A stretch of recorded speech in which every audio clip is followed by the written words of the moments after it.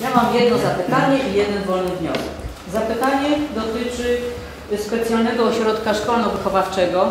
Dzisiaj akurat y, dotarli do mnie rodzice, których dzieci tam się uczą, no z, takimi, z taką prośbą, żeby zapytać pana starostę, czy też poprosić o to, aby no, lepiej zadbać o, o, o, o te dzieci tam się uczące i o ich rodziców. Na przykład nie ma podstawowego sprzętu dobrze działającego, takiego jak serokopiarka porządna, która jest niezbędna.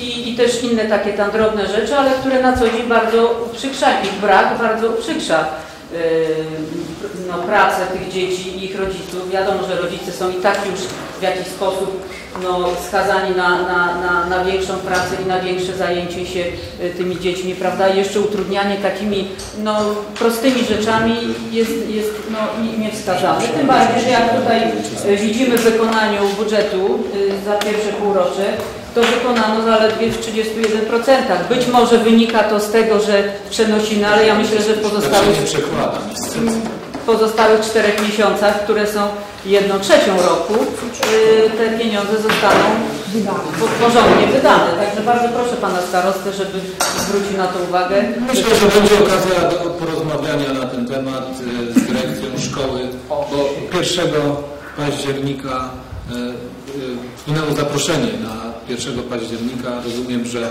pani dyrektor chce w sposób taki chyba przywitać w nowych murach odremontowanego, odremontowanego y, specjalnego ośrodka szkolno-wychowawczego. Będzie okazja. No właśnie, żeby tylko to nie było takie tam, że, że, że kwiatki, kawka, y, cały misio, tak, tylko konkretne właśnie historie. Pani radna chyba No dobrze, nie zna chyba. No. To bardzo dobrze, No więc. Pan Starosta jest bardzo miły człowiekiem, więc